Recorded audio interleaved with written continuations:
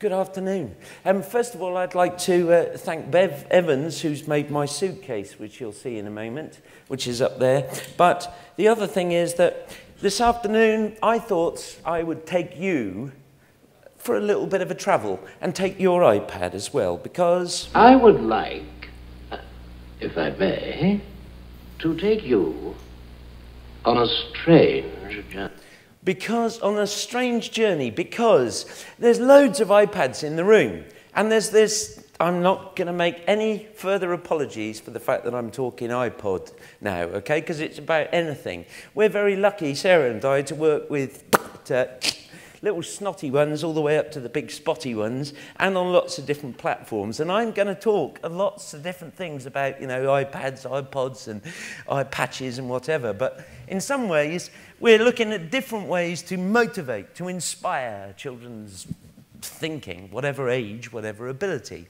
And I think the idea of starting static is always a good place, you know, bringing a world alive. But in some ways, the next step might be QuickTime VRs. Now, I've got uh, a QuickTime VR set into my slide here, look. So I'm looking around. This is actually New Zealand. Yeah, the landscape on this planet where they have almost every form of uh, terrain. Or how about this? B, the nutter who's hanging off that rock, look, okay? Or by looking around with my mouse, I can, well, normally, let's go, come on, technos, here we go, there we go, it's going to go. But I'm stretching technabilities here because I put a, a QuickTime VR into a, a slide. But one of the best places we've found to get these is panoramas.dk because look, you could sit um, Diana-like at the Taj Mahal here, look. Or, well, for me, the next step is, well, very often games. And then the idea of using games means that you can not only wander, but you can also stand still. My name is inextricably linked with the Myst games because they're beautiful, immersive landscapes that we can wander around in, but more importantly, stand still in. And that shot that you can see there is from Riven, which is where I started my explorations of computer games in schools, and it's now available for the iPad. So I'm amazed that I've got this presentation finished because I've spent hours playing on it for the last couple of weeks. And they are stunning worlds that we can wander, but as I said, more importantly, stand still in. Gorgeous landscapes. Let me show you a few of these little places. I mean, look, like human dung beetles. When you like to climb up one of those ladders and knock on the door, and you can. But it's the whole immersive, involving, a world that these places seem to inspire even the most reluctant writers who seem to start scribbling with great surprise, not only for their teachers, but for themselves. Here's one of the schools we were in, sent us streams, oodles of writing based on the Riven game. But there are many others. One of my favorites, Return to Mysterious Island. Again, everything I'm talking about is either on a, uh, a, a PC, a Mac, or an iPad, or all of them. And in this case, you can get this in many different formats. Return to Mysterious Island. Again, for me, one beautiful aspect, it has a female lead character, and she's not, as I've said before, a pumped up pneumatic lady running around raiding tombs, put it that way. The aspect of involvement is so important. For my delight recently, discovering the Epic Citadel app. And loads of people are nodding around the room because, you know, loads of people have picked it up and started to play with it. It's a beautiful, beautiful thing. And in many respects, because we can't broadcast yet, sadly, from an iPad very uh, predictably, it's a lovely way to get children to sit and share and discuss. And I thought I'd take you in to the epic world and tell you a little story. Are you sitting comfortably, ladies and gentlemen? Then I'll begin. How it all started, he can't remember. How it progresses is up to you. How it ends is up to me. Every day, he would enter the city longing for crowds. Not for company, no, for crowds. In fact, his whole aim was to slip unnoticed, yet noticing through the throngs. All that is, except for one, one man who seemed to not only see him, but almost taunt him. He could travel where he wished, lifting anything he wanted. He wasn't particularly strong, oh no. You may have guessed it, he was in fact a pickpocket. A handkerchief here, a gold trinket there, a little diamond, anything he wanted. Well, almost anything. For that man who not only saw him, used to taunt him by taking out a gold watch, a tool of his trade, for he was in fact this town's hypnotist. And he would swing it from side to side, and that watch would tick a challenge to our friend. Our friend would head in, can you sense I'm making this up, so be patient with me now, all right? Would head into the town looking for his next catch.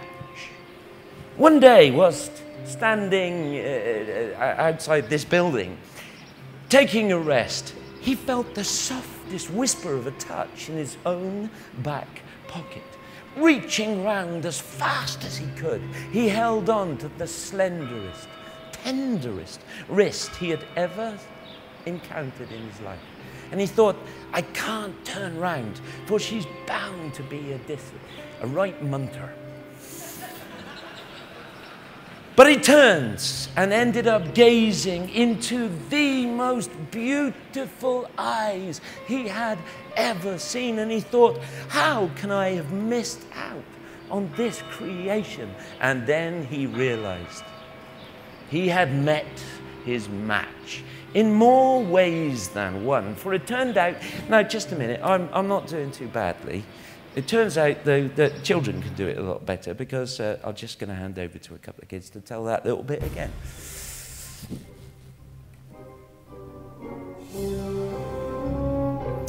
Bit of green screen, like Tony was saying. Once there lived a pickpocket who spent his life pickpocketing.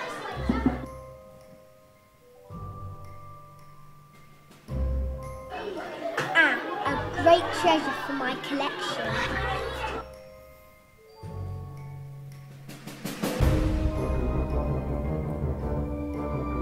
This must be incredibly expensive, high-tech stuff, One eh? day, the pickpocket met another pickpocket and they fell in love. Oh. oh, come on, it went better in rehearsal. Oh, thank you, well done.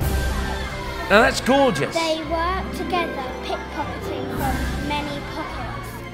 But that's not how our story ends, because it didn't take long for him not to ask for her hand in marriage. He didn't need to, for she gave it readily. And they headed to the church. A glorious day. And it didn't take long for them to suddenly realize my goodness me, if we were to join as one, and I'd have to be careful how I did this with children, surely that child would have the ultimate skills. Come the day, nine months later, my dears, when there they were, the four of them, our couple, the doctor, the midwife, a glorious day. But come the moment the child emerged onto the planet, tragedy. The midwife screamed and ran from the room, dropping her lantern, shattering into silver tears upon the floor. Quite like that. And I'm going to keep that in. Shattering into silver tears upon the floor.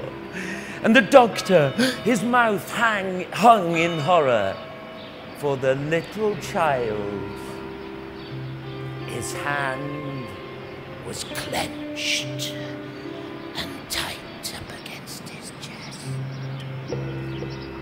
on, at that point, I thought you were going to do a bit of, oh, oh, oh dear. Look, their tragedy. The child that would be, perhaps, to take on their skills. Yeah. Would you like to meet the pickpocket, ladies and gentlemen? Would you?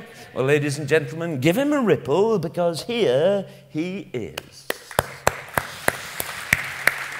Now, you didn't know you were going to do this until about five minutes ago, so uh, I'm sorry if I didn't. Um, how you doing? It must have been a terrible shock just now. Tell us a little bit about uh, life. Oh, yeah, I don't really like it up on the open stage like this. I normally, yeah, you know. Yeah, um, I wonder whether we have those magical wands. I thought we were going to have them here, but they are here somewhere. But uh, where are they? But never mind. Um, I'll, I'll, hold close to you. I quite like being close to you. excellent. Okay, well then we should be able to hear. Um, but just don't take anything out of my back pocket. Right. Um, would you like to meet his wife? Actually, would you like to meet your wife? Well, I hope she's still here. Yeah, I hope you Excellent. haven't- Well, ladies and gentlemen, would you like to meet the pickpocket's wife? Here she is. Give her a ripple. And another person who's up for a challenge. Well done, Dawn. Okay. All right. Tell us, you two. Tell us a little bit about how you first met, first of all, please. Well, it was terribly romantic. It was. Hand in a pocket moment. it was exactly that. I turned around. It's in your minds. No, no, please, not in our world. No, I, I turned around and really, I mean, I was busy, very busy. I'd, I'd got three purses, I'd got two watches, and I was on for a, you know, I wanted to end the day on a high. And I thought, this slender wrist, this has got to be, there could be some good rings on this. Any questions for our pickpockets, ladies and gentlemen? Well, Sarah and I in our travels have found these things. They're gorgeous. Thinking Dice. I'm not selling anything, don't worry. Thinkingdice.com. And they're great ways to get children to extend, or students of any age, their questioning. And they're, they're, they're really good. So actually, I'm going to I'm gonna chuck some out there. There you go, sir. Okay, so let's see if there are any questions, please, for our couple of characters. Anything about how we met? Or... Uh, actually, tell us The about... child, Tell us about the child. Must be it, feeling. it was devastating. I mean, there we are, professional pickpockets. It's how we make our life. And yet our firstborn comes out with a clenched fist. What are we to do? We travelled long and hard, and we, we've still not found someone that will, will tell us how we can unclench the fist. Do, do any of you know? Any ideas? We've tried everything. We've gone, gone down to this, this, the Holy River and tried, you know, all these sort of potions and Amazing. ideas, and nothing's worked. Gets you Nothing's right worked. there, Anyone? doesn't it, folks? Like a bout of indigestion. A ripple, please, for my pickpockets. Thank you. Now, they didn't know what they were going to do. I just asked them, Are you up for a challenge? Oh, you're doing very well, actually. You've nicked my microphone as well. Excellent.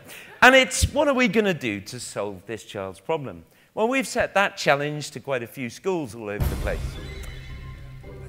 Oh, thank you. Excellent. Thanks. Uh, uh, oh, thank you. Right. Okay. To write how that couple might solve the little child's problem. Sometimes analog, but very often taking it that little bit further and going digital. Because there are so many opportunities, aren't there, nowadays? I like the idea that whatever form, it's what they say rather than what they use to say it. So, look, I'm very grateful for uh, Susie Arnold working up at North, and big one for me, Simon Widdowson. And Simon is going to be one of two people presenting with me on Friday at BETT, where we're going to take this and go a bit further. But Simon Zanov on Twitter has been doing some incredible things from this challenge, getting his children to write worlds of words about how this little child might solve the problem. There's another way the old business of comic life, or, as we were talking about earlier on, doing it on the iPad now, the opportunity to tell a pictorial story, as it were. The idea of bringing a world of, in this case, venturing through how do they, how are they going to solve this child's problem? taking him up the hill to the, the sage, or in across the moors to the witch in the tent, and nothing, nothing works. And Porchester, they've been doing some incredible things, using lots of different media. Media. Eh? Here's a little hint. Look, a couple of the things they've been doing. The idea again of using lots of different resources applications, programs, whatever, and combining them, getting children to think laterally and problem solve how they can get a story across. So in this case, using iMovie just to make, well, in this case, look, our Star Wars like start.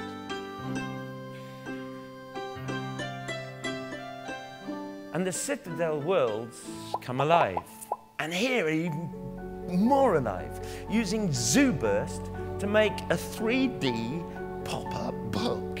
And you can explore that. And what we've been discovering is turning it around is just the beginning. Because you can also use the whole idea of AR, augmented reality. You can print yourself out a little, you know, one of them magic shapes and hold it up. Look, there's Simon remotely turning the pages. Watch, just move your hand. And here it goes, turn the page. ZooBurst, beautiful. But another one for me, the idea of using, well, things like to create a super story. They've been building little animated tales of how this couple might solve the child's problem. Now, iPads, iPads, as we've been hearing a lot over the last uh, few hours, the whole business of sucking down information, it's got to go beyond that, hasn't it? It's got to be used to actually create something new. And we've been very lucky to explore with schools all over the place, lots of different apps to create, to generate not only information, but artwork in this case. So brushes. Now the idea of this one is that you can take an existing picture, in this case, one of the screenshots from Citadel, and then work with it. So it's almost like tracing. You know, that used to be called cheating. It's inspiration, isn't it? So you sketch the outline, tracing every little brick if you feel that detailed, and then take the background out, colour in your creation, and what's lovely, and uh, Simon only discovered this for me the other day when he said, look, I've managed to video it because Brushes actually exports little film of how you created your picture. And you can use that to inspire a bit more storytelling, a bit more thought, perhaps, of a location. Here's another one. The idea, as Tony was saying, about taking colour out of an image. What can that do? It can bring a different atmosphere. So in this case, Colour Splash, look, you can isolate. Just one little pic remains in colour, the rest of it in black and white, creating a different sense of tension. Here's a gorgeous one, Physios, Sculptor. Look, you can actually take, it could be a cube of wood, could be a block of metal, and you can actually sculpt. So what they've been doing is making boxes so that the pickpockets can carry the, oh, whatever it is, you know, the potion from one place to the other. Another gorgeous little bit for me, the whole uh, business of creating, of generating. When you've made something, get people to actually comment on it, talk about it, discuss it, peer review. Another making one, look, iPottery, Pottery pottery HD, this is free apps I'm talking about. Most of these things are free. Look at this, at speed here, here's somebody making a pot one of these children making a beautiful creation.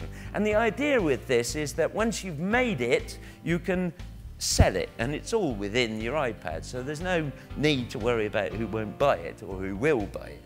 But when you've sold it, you can buy new resources like colors or, or patterns. And they've been making containers to go with the couple on their journey. And again, peer reviewing all the outcomes. Love it. Uh, pixels. We know pixels and the fact that they're surrounded in black. But do you know what a 3D pixel is called? Nobody? It's called a voxel. I didn't know that until the other day. A voxel. When I discovered this app. Voxel is a 3D sculpty thing. Now, the examples that we're here, you know, using are quite sort of simplistic, aren't they? But you can actually go incredibly detailed. Go try it, because you can move your creation around. Again, making containers and boxes. And one other little thing, when we were working up in a school in, in Newcastle, when we were up with uh, Mr. Bunce there, was the idea of how are they going to transport from down by the river all the, uh, you know, so look, geared means that children are thinking laterally as to how to actually combine different gears and solve and create. Yeah, perhaps in this case machinery, but again the analog and digital making it for real. Music. Creating things on a, excuse me, I'm going to head back there. Creating things on an iPad, there's tons of. And I'm going to put links to these up on the blog later on. And loads of them. Now, there are, I mean, in iPads, you know there are some sort of teething problems. The opportunity to get certain things off it, for example, can be very difficult. And you have to think laterally. And there are many ways to do it. I mean, Dropbox. I don't know how many of you use Dropbox. Yeah, great. Show of hands, fantastic. Because Dropbox means you can share files, not just from one computer to another, but also from an iPad or an iPhone. But also, bump, I think that's a bit of magic. Knock your two phones or your iPads together and you've shared the information. But you can actually take it further, and I'm hoping that a few people might take the nudge on this, because I set somebody else a challenge. Are you here, Mr. Mitchell? Deputy Mitchell. Dave, because I set Dave a challenge coming down on the train to write me a 30 second piece of music and get it to my computer. And we're going to do it because using Music Studio, fingers crossed this is going to work, fingers crossed, I've just clicked into um, Dave's iPad. Is it switched on, Dave? Okay, we seem to be having a slight uh, techno problem here, Dave. Um, uh, can you read out the... Come up here, will you, boy? Can you um, tell me the... Good lad, well done. Oh, gosh, Mrs. Doubtfire's back. Um, actually, Dave, I'm going to get you to do this because I might go uh, spectacularly off the stage. Dave's just typing in the IP address of his laptop. No, not his laptop, his iPad. Okay, and uh, I haven't heard this, but what I've done is I've put a link to the file he's going to put onto my laptop. And in the next slide, hopefully, it will trigger it off. So which one is it? Uh, WAV. Tim, new WAV. Now, how did you do this then, uh, Dave? On the train? Tell me a little bit about what you uh, what Yeah, was the but- challenge. Uh, between rugby and, cr- well, Crewe and rugby. Uh, a boring part of the journey. Thank you for making it more interesting. Um, it was a m- a music studio light. It's a, uh, you can just do as many tracks as you like, up to 130 odd tracks, I think. So I just did one track at a time. Um, I'm not particularly musical, but That's very why I set you the challenge, in Yes. fact, because I asked him first of all, "Are you a music specialist?" He said no. So I thought, right, great, this is good. Um, let's see. Okay, a ripple, please, from my glamorous musician. Thank you. So on the next slide, it's going to trigger, hopefully, Dave's music. Woo! So that's referring to the file I downloaded onto my desktop. Gorgeous stuff. Thank you, Dave. Brilliant. Now, here's another little app that we've been using in different places. Again, the examples I'm going to show you look quite, uh, you know, from the Litleys, but this is usable in any age. Puppet Pals. It means that a bit like, you know, when you have one of those box theatres, the cardboard box with the characters on sticks. Well, you don't see the sticks.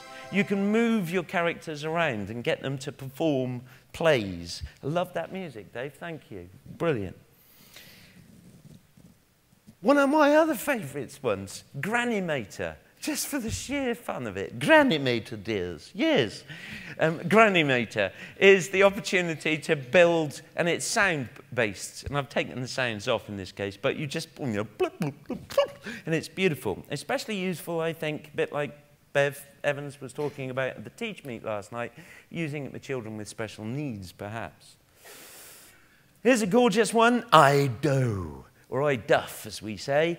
The idea that you can gain, look, a bit like the pottery, you can make a 3D character at great speed, at great pace. And again, there's a free version of that. I don't think we should expect everything to be free, do you? Getting children, students into the experience. But we can go even further than just cutting it out. Now, Kevin, Kevin McLaughlin, Kevin on Twitter. Kevin is another person who's going on Friday going to be presenting with me at BETT, and we're going to extend all the things we've done here. Kevin's done a little bit, which I think is gorgeous, using green screen. Now, you don't need fancy, high-level techno stuff, because Kevin has been recording his green screen a bit like Tony was saying, using an iPhone. I love this. It's going to demystify the whole process of green screen. screen using iMovie 11. First of all, you must make sure that you have got the advanced tools checkmarked. Once you've done that, you choose a picture that you want to use as the backdrop of your green screen. In this case, I'll just choose this photograph most photographs will be put up, uh, all photographs you put in will be only four seconds. So you want to change your clip to whatever length you want the backdrop to be. In this case, for the example, do 10 seconds. And once that's set in place, choose your green screened video that you've already imported. Choose roughly the same length of time as you've put in for the backdrop. You recognise Drag it two? across the screen and get it as close to the beginning of the photo as you can.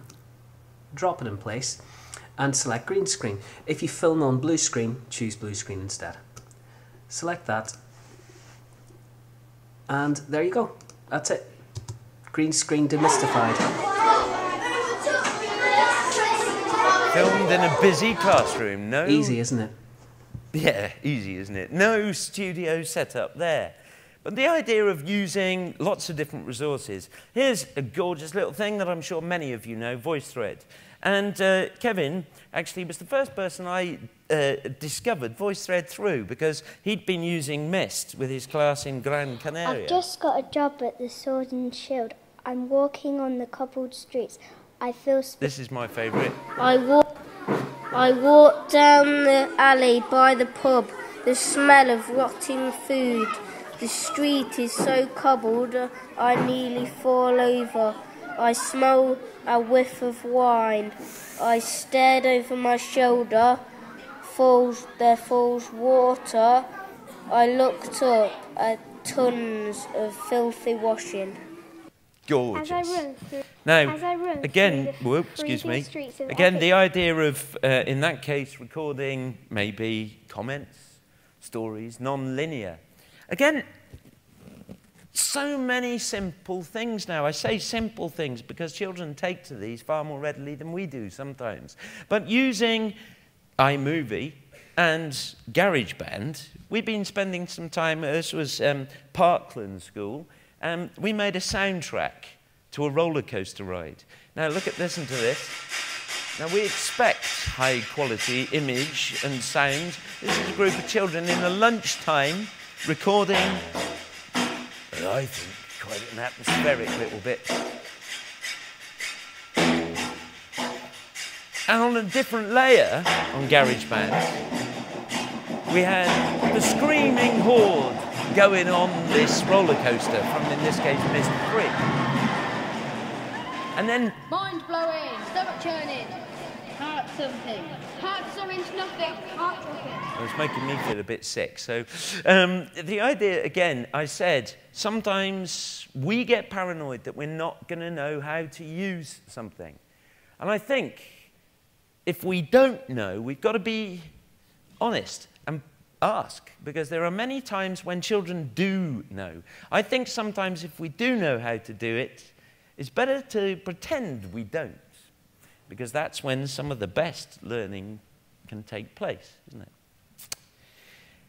Time.